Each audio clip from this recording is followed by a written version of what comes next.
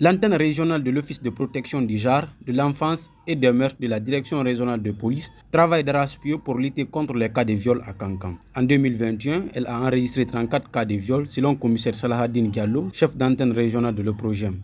L'année 2021, nous avons enregistré 34 cas de viol dans toute la région.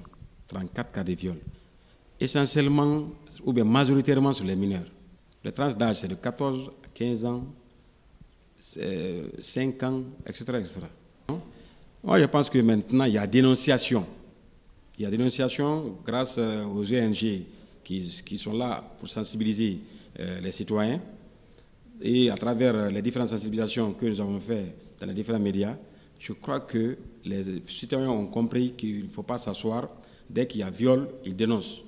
Malgré la hausse des cas de dénonciation, le capitaine Saladin Diallo et son équipe restent confrontés à un problème, le règlement à l'amiable des cas de viol. Nous rencontrons des difficultés, beaucoup de difficultés parce que euh, nous sommes dans un pays ou bien dans une région où les gens aiment beaucoup à ce que les choses soient euh, traitées à, l'amiable, alors que le viol est un acte criminel. Donc nous, ils vont mettre des pressions, ils vont nous, les sages vont venir tout et tout mais on ne va pas accepter. Le commissaire Saladin Diallo prodigue quelques conseils aux parents. Euh, l'appel que je lance aux parents, c'est de veiller sur les filles, c'est de veiller sur les enfants. Il ne faut pas laisser les enfants à la maison, il ne faut pas abandonner les enfants pour venir au marché, passer toute la journée sans savoir est-ce que la fille est à la maison ou elle est où. Et puis il faut savoir que le violeur est toujours prêt, est, toujours euh, n'est pas loin quoi. Hein? Il est toujours à côté de la famille.